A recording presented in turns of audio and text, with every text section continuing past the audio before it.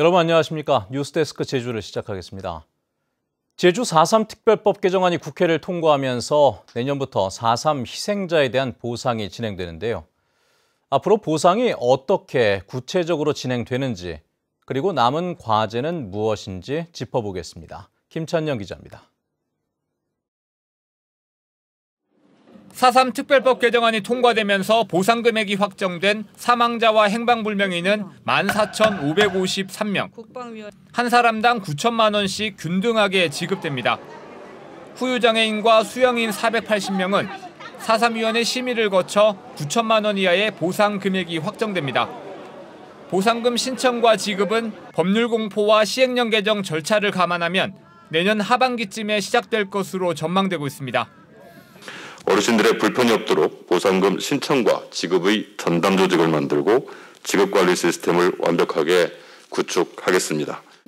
국회 개정안 심사 과정에서 삭제된 가족관계 관련 특례 조항은 풀어야 할 과제입니다. 4.3 당시 부모나 남편 등이 행방불명돼 다른 가족 자녀로 등록하거나 혼인신고를 못한 경우가 비일비재했는데 특례가 제외되면서 가족 관계를 증명할 방법이 어려워졌기 때문입니다.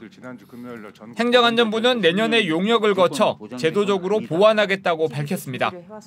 아, 내년도에 보상을 실질적으로 하면서 기간이 3년으로 돼 있기 때문에 그런 케이스들이 어, 어떻게 규명될 수 있을지를 연구협도 또 하기로 돼 있습니다. 내년 정부 예산에 책정된 보상금은 1,810억 원. 전체 보상 규모가 1조 3천억 원대로 추산되는 만큼 여러 해에 걸쳐 지급될 것으로 예상되지만 정확한 기간은 아직까지 확정되지 않았습니다. 보상금 신청 순서도 희생자의 생존 여부와 희생자 결정일 등을 고려해 사삼위원회가 공고할 수 있어 어떻게 결정될지 주목됩니다. MBC 뉴스 김찬현입니다. 부실 논란에 휘말렸던 제주도의 최상위 법정 계획인 제3차 국제자유도시 종합계획안이 도의회 상임위원회를 통과를 했는데요. 도의회 심의 과정에서 일부 사업이 추가되고 사업비도 대폭 늘었다고 합니다. 송원일 기자가 보도합니다. 내년부터 10년 동안 시행되는 제3차 국제자유도시 종합계획에는 스마트 혁신도시와 청정, 제주 트램 등 18개 핵심 사업과 110개 전략 사업이 제시됐습니다. 그러나 부실 논란이 계속되면서 쇼핑 아울렛이 빠졌고 10개 전략 사업이 추가돼 도의회 행정자치위원회를 통과했습니다. 새로 추가된 사업은 국가대표 제2선수촌 건설과 종합 스포츠타운 조성, 먹는 물 안전 보장과 노후 하수관로 정비 등이며 총 사업비는 16조 원에서 20조 4천억 원으로 늘었습니다.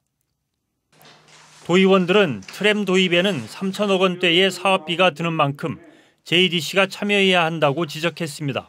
트램을 사업 운영하겠다는 확실한 의지가 있는 거예요. 그런데 왜 3월 달에는 주최해서 올라왔는데 왜 8월 달에 빠졌는지 JDC가 해주는 게 저희들은 바람직합니다.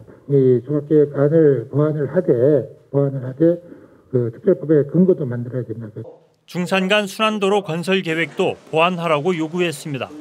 중산간 순환도를 넓히는 것은 지속 가능한 제주를 생각한다면 좀 더 보완이 필요하고 재원 조달이 어려운 시기에 순환도로 구축은 신중한 검토가 필요하다라는 상임위 의견이 한편 농수축 경제위원회는 내년부터 농민수당 40만 원이 지급될 수 있도록 제주도가 농어촌 기금을 출연하는 조례 개정안을 통과시켰습니다. MBC 뉴스 송원일입니다. 제주 지역에서는 오늘 오후 5시까지 코로나19 확진자 15명이 발생했습니다. 제주시 중학교와 여행 모임 집단 감염 확진자가 4명 추가됐고 제주해양경찰서 소속 경찰관 1명도 확진 판정을 받았습니다. 한편 정부가 코로나19 3차 백신 접종 간격을 3개월로 앞당기면서 제주에서도 17만 명이 3차 접종 대상에 추가될 전망입니다.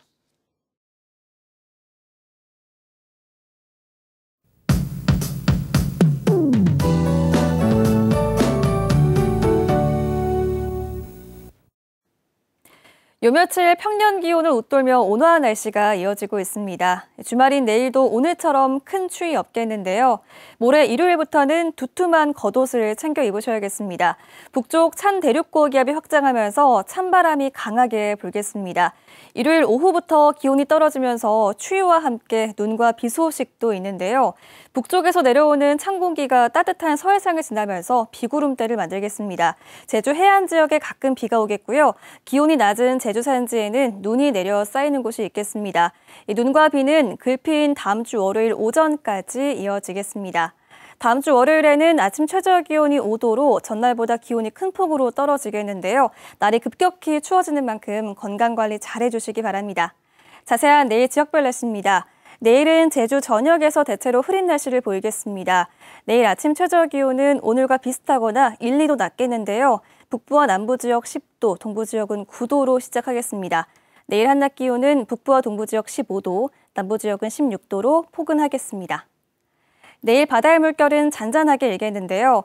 일요일 오후부터 제주도 전해상에 바람이 강하게 불겠습니다. 일요일에는 물결이 4m까지 매우 거세게 일겠습니다.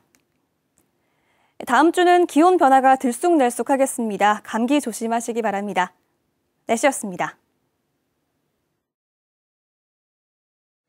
비위 행위를 저지른 경찰관들이 잇따라 중징계를 받았습니다. 제주 서부경찰서는 올해 초 제주 시내 유흥업소에서 뇌물을 받고 코로나19 관련 112 신고 내용을 알려준 혐의로 기소된 A 경위를 파면했습니다.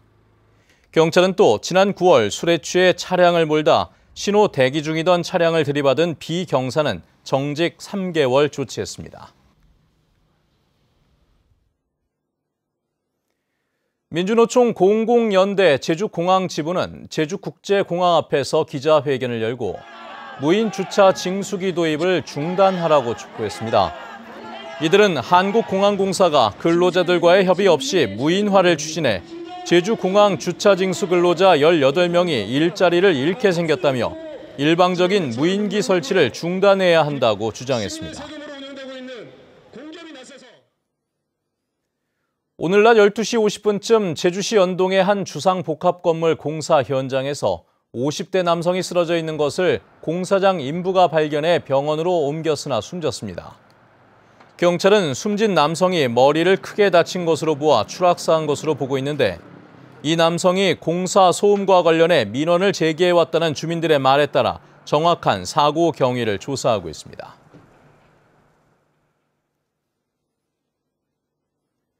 내년 도지사 선거 후보로 거론되고 있는 문성유 전 한국자산관리공사 사장이 국민의힘 제주도당에 입당했습니다. 문성유 전 사장은 기획재정부에서 국가의 재정정책과 살림을 이끌었던 공직자로서의 경험과 노하우, 네트워크 역량을 국민의힘에 보태 정권 교체에 기여하겠다고 밝혔습니다. 제주도는 올해 제주도 문화상 수상자로 학술 부분에 제주대 유철인 교수와 김상재 교수, 언론과 출판 부분에 강영석 청암문화재단 이사장을 선정했습니다. 또 체육 부분에 김성환 제주도 체육회 부회장, 1차 산업부문 강승진 제주농업농촌 6차 산업지원센터 이사장, 국외 재외도민 부분에는 송윤관 일본 삼협무역대표가 선정됐습니다. 제주에서 사육하는 돼지의 규모를 현재 수준으로 유지해야 한다는 연구 용역 결과가 나왔습니다. 전북대 연구팀은 제주도에 제출한 보고서에서 현재 도내 사육 규모인 52만 마리를 유지하면서 가축분뇨 공공 처리 시설 용량은 하루 400톤에서 780톤으로 늘려야 한다고 밝혔습니다. 또 환경관리 수준이 낮은 축산 농가에 대해서는 보상 매수나 폐업을 지원해야 한다고 덧붙였습니다. 제주지방법원 형사 3단독은 남편의 명의를 도용해 돈을 빌린 혐의로 기소된 63살 고모 씨에 대해 벌금 1,500만 원을 선고했습니다. 고 씨는 현관 현금 보관증에 남편의 이름을 적거나 남편이 보증을 선 것처럼 속여 8차례에 걸쳐 지인들에게 2,300만 원을 빌렸고 범행 직후 이혼한 것으로 알려졌습니다. 제주 지역 신혼부부의 평균 소득이 전국에서 가장 낮은 것으로 나타났습니다. 통계청에 따르면 지난해 도내 신혼부부의 평균 소득은 4,184만 원으로 전국 평균보다 1,400만 원 정도 낮았고 17개 시도 중 최하위였습니다.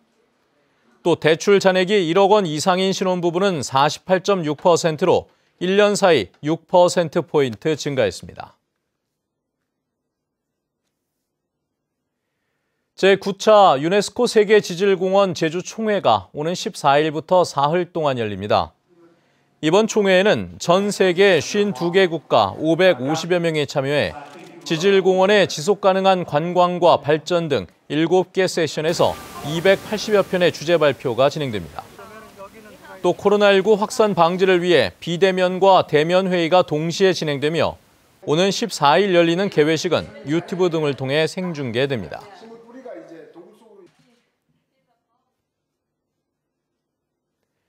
뉴스데스크 제주였습니다. 시청해주신 여러분 고맙습니다.